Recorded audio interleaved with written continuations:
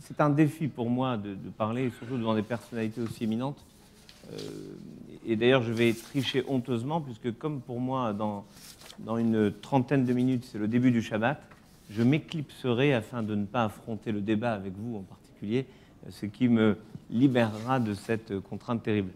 Pour vous parler d'un sujet qui est euh, éminemment important, c'est qu'est-ce que la vérité? Comment définir la vérité?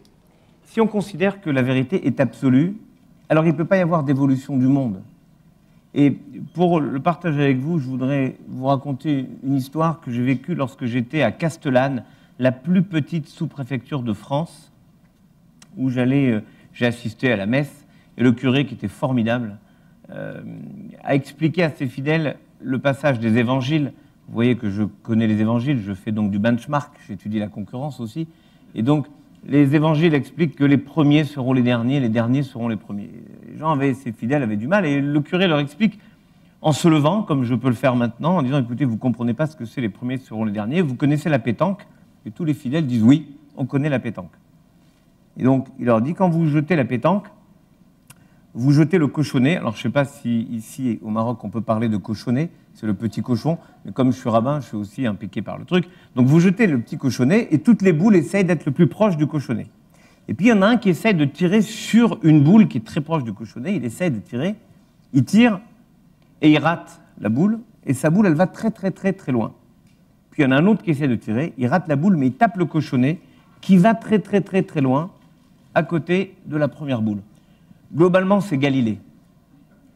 Alors maintenant, comment comprendre Galilée avec le cochonnet? C'est pas compliqué. Vous avez une vérité. Vous pensez qu'une vérité est, la vôtre, c'est la vôtre et vous voulez la partager, vous l'affirmez. Mais vous êtes loin de la vérité acceptée par tout le monde. Vous êtes très loin. Et puis à un moment, les esprits évoluent et la vérité évolue, arrive à vous. Donc on voit bien qu'il y a une vérité d'un moment et il y a une vérité d'un autre moment. C'est ce que me disait Steven hier, en en parlant, ou avant-hier en en parlant. La vérité est aussi conditionnée par le moment. Donc on voit bien que s'il y a une vérité à un moment qui change, c'est qu'il n'y a pas une vérité absolue.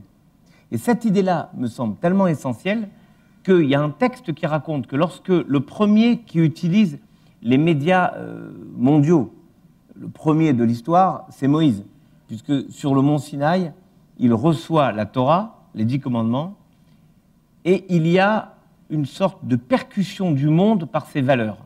Le monde est encore percuté par ses valeurs. Tu aimeras ton prochain comme toi-même, préfère la paix, ces valeurs qui sont au cœur de nos sociétés.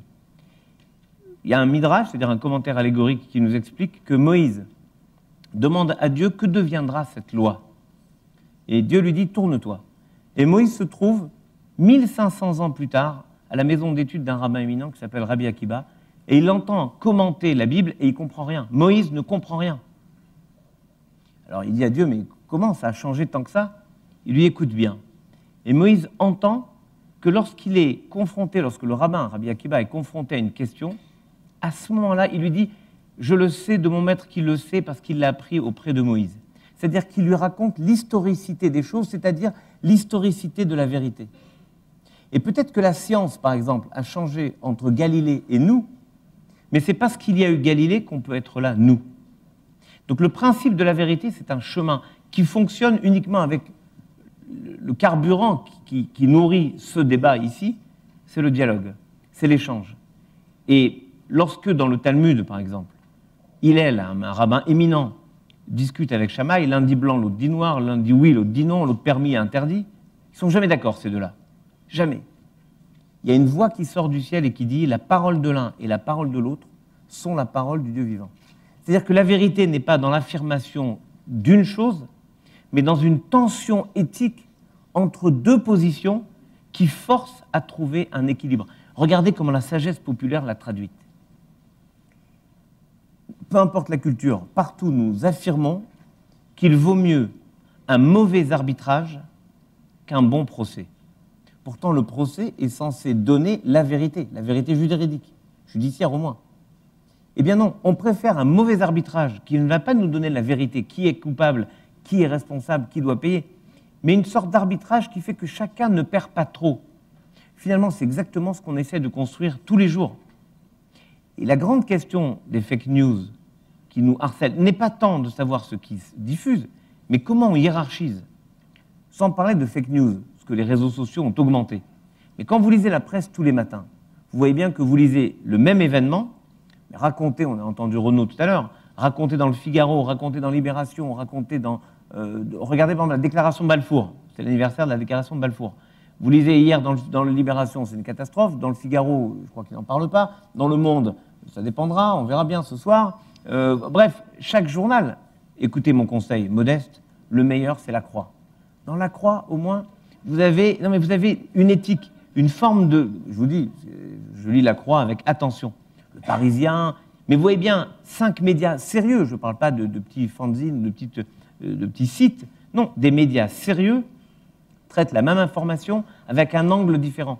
Finalement, la vérité est probablement la conjugaison de tous ces angles.